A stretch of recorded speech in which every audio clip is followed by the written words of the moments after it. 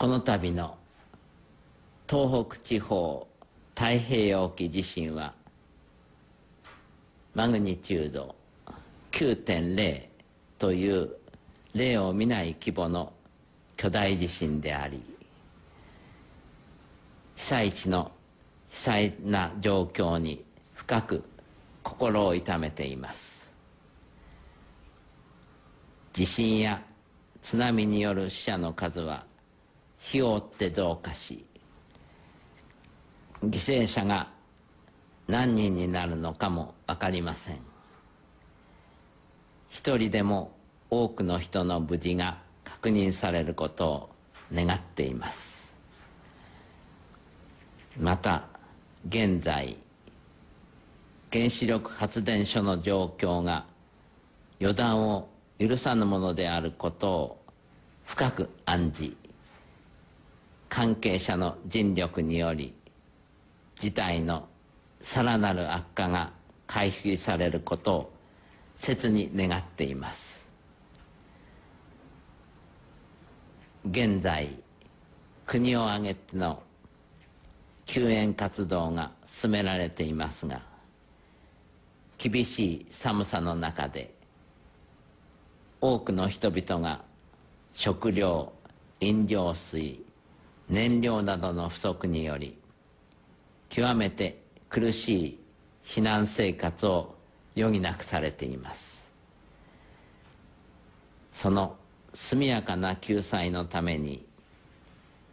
全力を挙げることにより被災者の状況が少しでも好転し人々の復興への希望につながっていくことを心から願わずにはいられません。そして何にも増してこの大災害を生き抜き被災者としての自らを励ましつつこれからの日々を生きようとしている人々の大しさに深く胸を打たれています。自衛隊警察消防海上保安庁をはじめとする国や地方自治体の人々。諸外国からの救援のために来日した人々。国内のさまざまな救援組織に属する人々が余震の続く危険な状況の中で日夜救援活動を進めている努力に感謝しその労を深くねぎらいたく思います。今回世界各国の元首から相次いで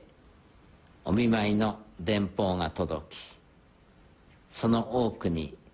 各国国民の気持ちが被災者と共にあることのあるとの言葉が添えられていました。これを被災地の人々にお伝えします。海外においてはこの深い悲しみの中で日本人が取り乱すことなく助け合い秩序ある対応を示していることに触れた論調も多いと聞いています。これからも皆が相携えいたわり合ってこの不幸な時期を乗り越えることを中心より願っています被災者のこれからの苦難の日々を私たち皆が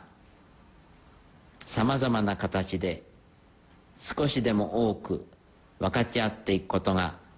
大切であろうと思います。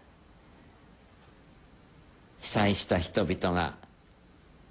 決して希望を捨てることなく体を大切に明日からの日々を生き抜いてくれるようまた国民一人一人が被災した各地域の上にこれからも長く心を寄せ被災者と共にそれぞれの地域の復興の道のりを見守り続けていくことを心より願っています。